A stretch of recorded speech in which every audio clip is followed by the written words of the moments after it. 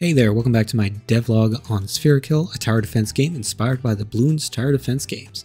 If you want to play the game for free, go down to the description down below or in the comments for the link to the game on itch.io. I would really appreciate that. Thanks. In this episode, I'm going to go over the change from how I was previously implementing a waypoint system for the enemies to move along a path, which was just an empty object containing numerous points in the scene, to a Bezier curve. A Bezier curve, for those who don't know, is a set of discrete control points that define a smooth continuous curve used to approximate real-world shapes. This Bezier curve helps make paths easier and more complex without any more work added to it. For example, making a line with the old system would require me to put the points in a linear fashion so that the enemy moves in a line. Pretty simple. In both instances, this is done rather easily. However, if the shape of the path were to be, for example, a curve, then the work put into the older waypoint system would have me putting all those points along to follow a crude curve, whereas with the Bezier curve, the curves are built in. Another reason for using the Bezier curve is that I was having issues with my waypoint system where an unfortunate bug occurs when blowing back enemies.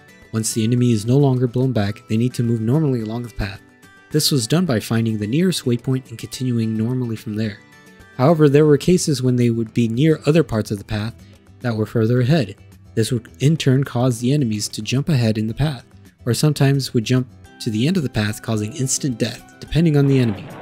A nice benefit of using this new Bezier curve system is that we can make our paths for our levels as well. Let's show off how this Bezier curve system works. First, we will create an empty game object and set its positions to 0. Now make sure that you have the Bezier Path Creator package installed and imported into your project. You can get it for free on the Unity Asset Store. I will put a link in the description to get the package, as well as a link to the video of the creator, Sebastian Lague, showing how to use it. Now that we have the package in our project, we will add the path creator behavior. Now if you don't see the path immediately, you may need to change some of the visual options. You can find them under display options. You may need to adjust these checkboxes for your scene accordingly. I will adjust my handle scale so it's easier for this demonstration to 3. To orient our path, we can choose one of the three options. I will be using the top-down option, the XZ, and make further changes later in the 3D mode. So I'm going to be making a simple U shape. Now that I have the shape, I will add the road creator behavior to help visualize this path a bit better. Now that the road for our path is visualized, we need an enemy to go along it. I have this little guy here to help visualize it. Next up, we just need to attach the path follower behavior to the enemy so it can follow the path. Let's play our scene and see what happens. Cool, it works, but as you notice the orientation or rotation of our enemy isn't right. That's because of the XZ orientation of our curve. Once changing into 3D and looking at the normals in our curve, we see the issue. To remedy this, just set the global angle to 90 and you should see all the normals pointing upwards. Cool, and now when we play the scene again, our enemy moves along the path and rotates appropriately. So now we have the base behavior done, moving along a path. But now what? What if I want to blow back an enemy like before? Well, all we need to do is adjust the path follower script to move backwards along the path for a short period of time. So I wrote a function called blowback that sets direction along the path to be negative for 1 second. Let's test it out. So I'll make sure the enemy speed is 2 here, and when I activate the blowback function, we can see it move backwards along the path for about a second. Cool, so now I want the enemy to die and deal damage to the player once it's reached the end. Pretty simple to do with the path follower script, has so much versatility built in. To figure out when we complete the path, we need to know how long the path is. In our path follower script, we just need to call pathCreator.path.length, and boom, we have the length of the path. To check if we are at the end, we just check if distance traveled divided by path length is 1. From there, I set a flag that we have completed the path, and from there, call a function called completedPath, and inside it, call the destroy function for the enemy and deal damage to the player. Cool, the only other implementation I need is to adjust the path follower speed to its attached enemy class.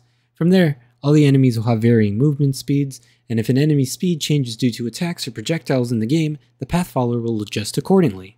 Nice. Everything seems to be fine, but there are some bugs I've noticed. First of all, all enemies, except the plane orb, have child of enemies that are activated upon their death. But when that issue occurs, the enemies go to the start of the path instead of where the parent enemy died.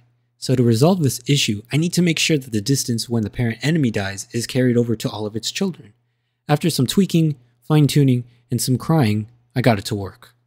Another issue that's still apparent though, is that the enemies don't adjust well to the path depending on their sizes. This is evident when looking at a plane orb and a big poppy orb. The big poppy orb is inside the path. This is no good. The simple fix for this was just to create an offset variable to the path and record those values for each orb type.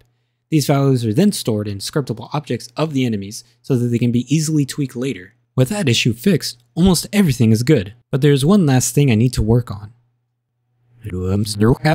The Pathfollower script can't go backwards, at least not yet. So to take inspiration from my blowback code, all we need to do is set our direction negative along a path. But the special thing to keep in mind is that our starting point for this mode is at the end of path length. And what happens when our enemy is at the end? That's right, they die. That's a no-no, that would make the game way too hard. To fix this, what I did was create an enum that checks what direction our enemy is moving, forwards or backwards, and with that, we can use it as a check for the movement of our enemy. Now if we're backwards, all we need to do is set our starting position to the path length, and to check if we completed it, we check if our distance minus path length is zero. And for the forwards movement, we've left it as it was before. But then we have an issue that we had before.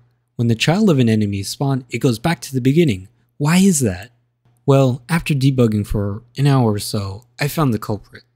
In the start function, I check if the enemy direction is backwards. If it is, then we set the distance traveled equal to the path length. We need to make an extra check if this isn't a child enemy, then set distance traveled, otherwise we ignore it. That way, when we set it from the parent, it is no longer overwritten. And with that, I have my path system fully implemented and working far better than the old waypoint system I had before. That's all for this video. If you guys enjoyed the video, don't forget to leave a like. If you have any questions about the game, or any issues found when playing the game, let me know in the comments down below. See you guys next time.